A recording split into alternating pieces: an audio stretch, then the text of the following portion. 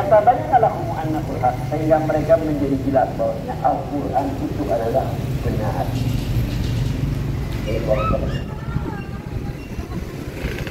Ini waktu Ini. Di beberapa waktu ayat ini dan menjelaskan tentang Allah